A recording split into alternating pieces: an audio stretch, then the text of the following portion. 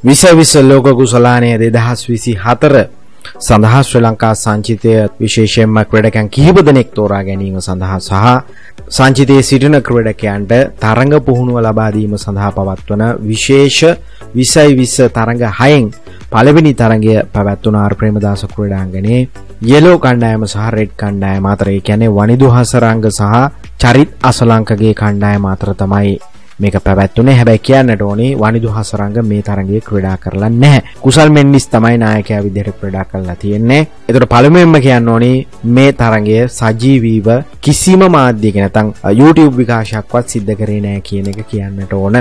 ඉතින් කණ්ඩායම් දෙක අපි පොඩ්ඩක් ඉස්සලම බැලුවොත් එහෙම යෙලෝ කණ්ඩායම පැතුම් නිස්සංක කුසල් මෙන්ඩිස් සදීර සමර වික්‍රම නුවනින්දු ප්‍රනාන්දු ඇන්ජලෝ මැතියුස් ලහිරු මදුශංක දුනිත් වෙල්ලාලගේ ජෙෆ්‍රි වැන්ඩසේ අසිත ප්‍රනාාන්දු ලහිරු කුමාර ශවෝන් ඩැනියල් කියන ක්‍රඩකයෝ තමයි ක්‍රඩා කල්ලා තියෙන්නේ. ප්‍රෙඩ් කණ්ඩායමේ නිරෝෂන් දික් පැල් අවිශ්ක ප්‍රනාාන්දු කමිදු මෙන්ඩිස් අහන් වික්‍රමසිංහ චරිත් අසලංක ලහිරු සමරකෝන් බිනුර ප්‍රනාාන්දු අකිලදනංච නිමේශ් විමුක්ති ප්‍රමෝද් මදුෂාන් දසුංචානක ඔන්න ඔය කණ්ඩායම් දෙක තමයි ක්‍රඩා කරලා තියෙනෙ ක්‍රඩකයන් විදිහට. එතකොට කාසිය වාසිය දිනාගෙන රෙඩ් කණ්ඩායම ආරාධනා කරලා තිනවා යෙලෝ කණ්ඩායමට පන්දුවට පහර දීමට. එතකොට මේකේ විශේෂම සිදුවීම තමයි කුසල් මෙන්ඩිස් නොදැවී ශතකයක් ලබා ගන්නවා තරගයේ අවසන් වනතෙක් ආරම්භක පිතිකරුවා විදිහට ක්‍රඩා පිටියට ඇවිල්ලා. ඉතින් පැතුම් නිස්සංක පන්දු පහලෝකදී ලකුණු විසි හතරක් ලබාගෙන තින එක හේ පාරයි හතරේ පාරවල් තුනක් සමගින් කුසල් මෙන්ඩිස් කඩු රකින්නා සහනායකයා පන්දු පනහකදී ලකුණු සියක් ලබාගෙන තිනවා. වේගය දෙසියයි. ඉතාමත් හොඳ වේගයක්. හයේ හයයි හතරේ අටයි ඔහු එල්ල කල්ලා තියෙනවා. ෂෙවොන් ඩැනියල් යෝන් ක්‍රඩකැත් ක්‍රඩා කල්ලා තියෙන ඔහු අංක තුන විදිහට පන්දු හතලිස් එකකදී පනස් සමයක් ලබාගෙන තියෙන එකසිය හතලිස් හතරක් විතර වෙනවා. ඔහුගේ නිමේ වේගේ හය පරවල් තුන හතර පරවල් හතරයි. සදීර සමර වික්‍රමත් ක්‍රඩා කල තින පඳු පහකදී ලකුණු දහය යොහු ලබාන්ති හතර පහරව දෙයක් සමගින් ඇන්ජලෝ මැතිවස් අවසාන මොහොතේදී පන්දු නමයකදී ලකුණු විසි හතක් ලබාගෙන තිබෙනවා. තරගේ අවසන් කිරීමක් තමයි කරලා තියෙන්නේ. හයේ පහරවල් තුනයි හතරේ පහරයි තුන්සීයයි වේගේ තකට ඉනිමේ වැඩිම වේගේ ඒක විදිට සඳහන් කරන්නට පුළුවන්. එතට පලවෙනි කඩුල දැවිල කියලා තියෙන තිස් තුනේදී දෙවන කඩුල දැවියන්න එකසිය හැත්තෑ හතරෙදි අන්න එක තමයි විශේෂත්වය. ශවොන් ඩැනියල් සහ කුසල් මෙන්ඩිස් පන්දු හැත්තෑ අටකදී එකසිය හතලිස් එකක සම්බන්ධතාවයක් පවත්වලා තියෙනවා. ඒවගේ ඇන්ජලෝ මැතිවස් සහ කුසල් මෙන්ඩිස් ලකුණු තිස් හතක සම්බන්ධාවයක් පවත්වලා තියෙනවා පන්දු දහතුනකින්. පන්දු ඇවිමිදි ගත්ත හම අකිල දනංජ පන්දුවර තුනයි ලකුණු හතලිස් දෙකට එක කඩුල්ලයි දා හතර ගානය ගහලා තියෙන හුට නිමේශ් විමුක්ති පන්දුවර දෙකයි ලකුණු දා හතකට එක කඩුල්ලයි අටයි දශම පහ ගානි හලා තියෙනවා. කමිදු මෙන්ඩිස් පන්දුවර තුනයි ලකුණු විසිතුනයි කඩුල නැහැ හතයි දශමහය ගානය හොට ගහලා තියෙනවා. දසුන් ශානක දැඩි ප්‍රහාරයකට ලක්වෙලා තියෙන පන්දුවර තුනයි හතලිහයි. දහ තුන ගානය ගහල් තියෙනවා. ප්‍රමෝද් මදුෂාන් දැඩි ප්‍රහාරයකට ලක්වෙලා තියෙනවා. පන්දුවර හතරයි ලකුණු පනස්ස එකයි දහ තුනකට කිට්ටෝ ගහතේනවා බිනුර ප්‍රනාාන්දු පන්දුවර හතරයි ලකුණු හතලිස් හතරයි. එකොළහ ගානය වගේ ගහලා තියෙනවා.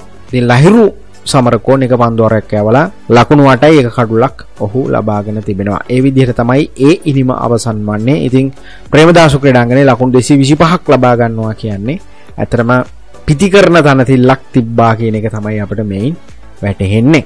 ඉතින් ඉනිමේ වේගේ එකොළහයි දශම දෙකයි පහක් විදිහටත් සඳහන් කරන්න ඕන. එතකොට දෙසි විසි හයක් තමයි ලබාගෙනීම තින්නේ තරගේ ජයග්‍රහණය සඳහා.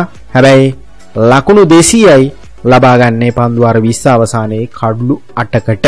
එහිදි හොඳම ඉනිමක් වඩා කරේ කමිදු මෙන්ඩිස්. ඉතින් මෙන්ඩිස්ලා දෙන්න ලොකු මෙන්ඩිස් සහ පොඩි මෙන්ඩිස් දෙන්නම තමයි කැපිපෙන් ඉනිම් දෙක ක්‍රඩා කරලා තියෙන මේ මේ සම්පූර්ණ තරගේ කමිදු වෙන්ඩිස් පන්දු හතලිස් අටකදී ලකුණු අසූ දෙකක් ලබා ගැනීමට සමත් වෙලා තියෙනවා. වේගේ එකසි හැත්තෑවක් විතර කියල කියන්නට පුළුවන්. හතරේ පහරවල් හයයි හයේ පහරවල් හතරක් ඔහු එල්ල කරලා තියෙනවා. තීට අමතරව ගත්තහම චරිත් අසලංක පන්දු පහලවකදී ලකුණු තිස් පහක් ලහිරු සමරකෝන් නොදැවී පන්දු එකොළහකදී ලකුණු විසිතුනක් ලබාගෙන තින. ඊට අමතරව ආරම්භක පිතිකරු නිරෝෂන් දික් වැල්ල පන්දු අටකදී ලකුණු දා හතක් ලබාගෙන තිබෙනවා. අවිශ්ක ප්‍රනාන්දු පන්දු දොළහකදී ලකුණු දහයයි ලබාගෙන තියෙන්නේ මේ තරගේත් අහන් වික්‍රමසිංහ පන්දු දහතුනකදී ලකුණු පහලවක් ලබාගෙන තියෙනවා.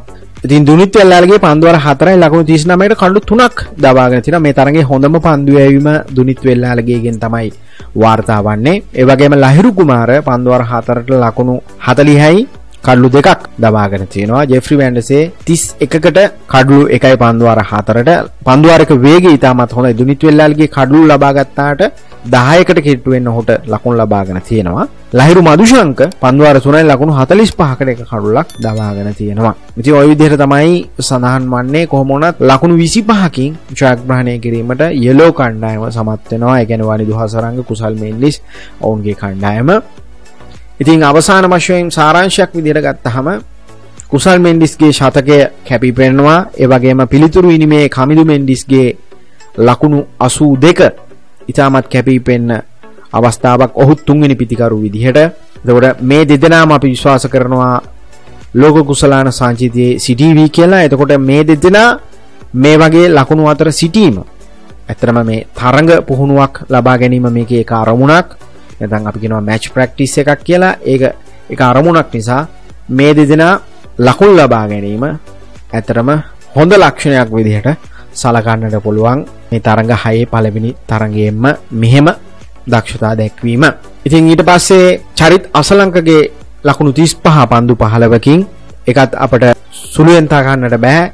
ඉතාමත් හොඳ ඉනිමක් ඒක වේගේ ගත්තහම දෙසිය තිස්තුනයි වේග හය පහරවල් තුනයි හතරේ පහරවල් දෙකයි. ඒ වගේම ඇංජලෝ මැතියුස්ගේ ඒ වේගවත් තරඟ අවසන් කිරීම සහ වේගවත් ඉනිම ඒකත් ඉතාමත් හොඳ තත්ත්වයක තියෙනවා. නොදැවී පන්දුනමයකදී ලකුණු විසි හතක් ලබා ගැනීම තුන්සිය වේගය වගම් පැතුම් නිස්සංක ලකුණු විසි හතරක් ලබා ගැනීම පන්දු පහලවකදී ඊට අමතරව ගත්ත හමනම් ෂෙවන් ඩැනියල් ඔහු ලෝක කුසලාන සංචිතයට නම් වෙයි කියලාපට ලොකෝට විශ්වාස කරන්නට නම් බැහැ. නමුත් ඔහු ලකුණු පනස්්‍රමයක් ලබාගෙන තිනවා. පන්දු හතලිස් එකකදී එකසි හතලිස් තුන හැබැයි වේගේ ඉතින් ඔන්න ඔය පිතිකරන අවස්ථා ටික අපිට කැපේ පෙන්න්න විදිහට කතා කරන්නට පුළුවන්. පන්දු ඇයමේදී ගත්තහම කඩුල් ලබා ගැනීම අතින් වැඩිම කඩුළුන ලබාග තියෙන්නේ දුනිත් වෙල්ලාලගේ. ටිකක් වේගේ වැඩි පන්දුවාරයක එකක් කියන්නට ඕන. ඊට අමතරව ගත්තහම කඩලු දෙකක් ලහිරු කුමාර ජෙෆ්‍රි බෑන්ඩසේ තිස්සෙකට එකක් විදිර තමයි සඳහන්කාන්න පුළ ඉති මේක සාමාන්‍යයෙන් මේ පිතිකරුවන්ගේ තරගයක් විදිර සලකාන්නට පුළ මොක ලකුණු හාරසි විසි පහක් ලබාගෙන තිබෙනවා. පන්දවාර හතලිහට. එනිසා මේක පිතිකරුවන්ගේ තරගයක් නිසා පිතිකරණය දක්ෂතාවයන් තමයි අපට වැඩියෙන්ම කැපී පෙනෙන්නේ කියන එක කියන්නට ඕන. ඉතිය බලමු තරඟාවලේ ඉස්සරහට යනකොට තව තරඟ පහක් තියෙනවා. මේකදී අපට අවසාන තීරණයක් ගන්නට පුළුවන්. කොයි පිතිකරුවන්ද හොඳටම කරේ? ඒවගේම මොන පන්දු යවන්නන්ද හොඳටම කරලා තියෙන්නේ කියලා අප යම් කිසි අදහසක් ගන්නට පුළුවන් කෙනෙක විශේෂෙන්ම කියන්නට ඕනිමයි. ඉති ළඟතරගය පැවැත්වෙන්නේ මැයි හතරවෙනිදා. මයිතුන්වෙනිදා තරගයක් නැහැ. හතරවෙනිද රාත්‍රී හතට ආර්ප්‍රේම දස ක්‍රඩාංගනේ චරිත් අසලංකගේ රෙඩ් කණ්ඩායම සහ ජනිත් ලියනගේගේ ග්‍රීන් කණ්ඩායම අතර තමයි ඒ තරගේ පැවැත්වෙන්නේ. ඉතින් අපි එදාට කතා කරමු ඒ තරගේ තරඟ තොරතුරු සම්බන්ධින් සජීවී විකාශයක් දැනට නෑ කියන එක තමයි කනගාටුවෙන් වුණත් කියන්නට තියෙන් චැනල් එක සබස්ක්‍රයිබ් කරන්න. සීනුවෝබලා වැඩසටහන් ආපුගමම දැනගන්න. අපගේ YouTube නාලිකාව Facebook පේජය ඉන්ස්ට්‍රග්‍රම් ටික්ටොක් සියල්ලම ෆලෝ කරන්න.